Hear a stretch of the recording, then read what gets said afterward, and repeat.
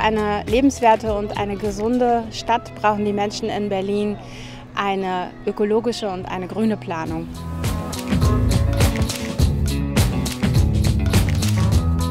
Sauberes Wasser und auch der freie Zugang zu Wasser als Naherholungsfläche ist total wichtig für Lebensqualität in Berlin.